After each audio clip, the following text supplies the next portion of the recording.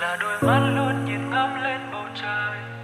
Dù cô đơn vây quay luôn dõi theo mình em.